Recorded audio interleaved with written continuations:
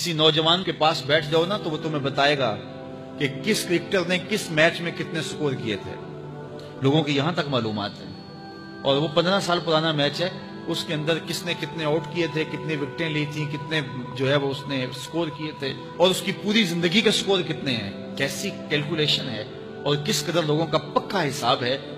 یہ وہ چیز ہے جس کا نہ دنیا میں فائدہ نہ آخرت میں فائدہ، لیکن دلچسپی ہے نا۔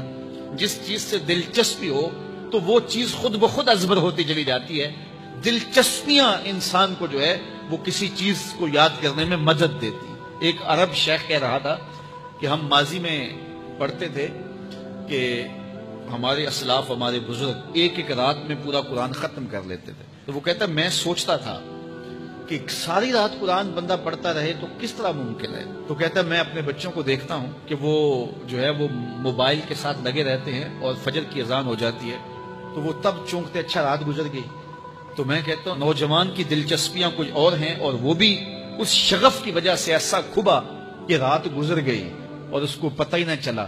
تو جن کو قرآن کا نشہ ہو گیا تھا، ان کی ساری راتیں قرآن میں گزر جاتی تھی ان کو پتہ ہی نہیں ہوتا تھا کہ رات بھی گزر گئی ہے اور اذان ہوتی تو پھر پتہ چلتا کہ اچھا رات گزر گئی ہے۔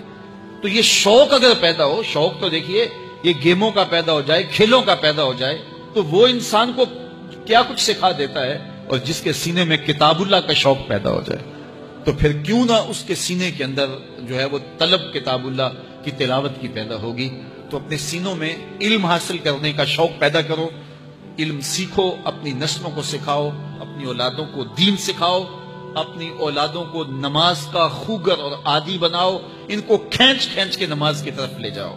یہ عادی بن جائے نماز کے، تاکہ بعد از انتقال دعاؤں کے سلسلے جاری رہیں۔